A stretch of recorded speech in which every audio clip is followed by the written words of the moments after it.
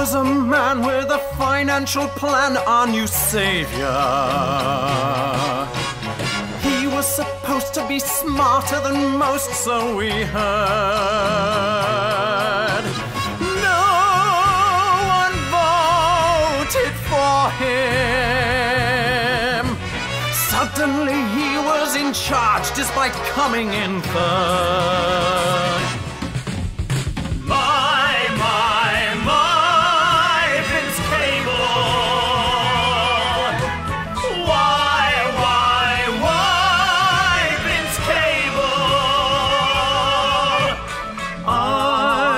Could see Lib Dems were no good for me.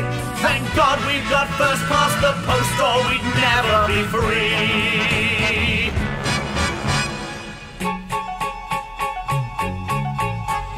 After the day Gordon Brown crawled away, he was waiting. He crossed the floor, knocked at government's door, and walked through.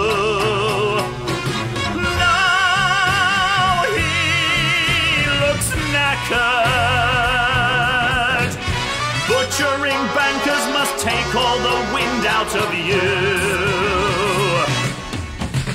My, my, my, Vince Cable. Why, why, why, Vince Cable? So before my bonus goes through the floor, forgive me, Vince Cable, just cannot take anymore.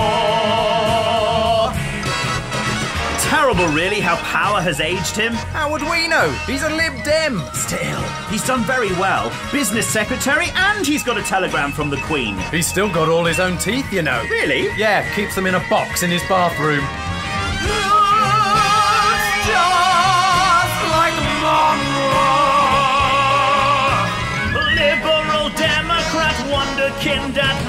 Forgive me, Vince Cable, we just cannot take any. Forgive me, Vince Cable, your plans look half-baked to Get me. rid of Vince Cable, we just cannot take anymore.